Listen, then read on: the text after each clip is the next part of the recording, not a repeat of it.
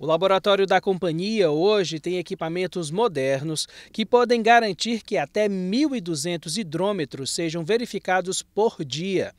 Essa máquina faz a testificação dos equipamentos na hora, verificando exatamente a quantidade de água que passa por cada aparelho. O nosso laboratório ele possui uma estrutura adequada, baseada nos requisitos do Inmetro, e as nossas bancadas elas são calibradas em laboratórios que pertencem à rede brasileira de calibração.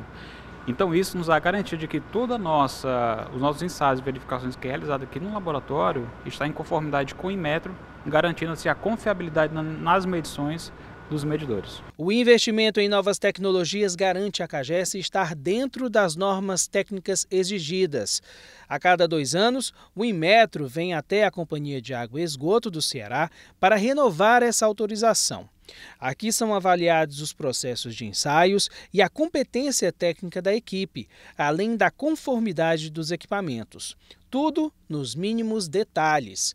A renovação é a garantia que o laboratório entrega produtos e serviços com qualidade para os clientes. Isso quer dizer que a gente consegue ter um nível de qualidade e que o cliente vai estar sendo cobrado por o que ele realmente consumiu.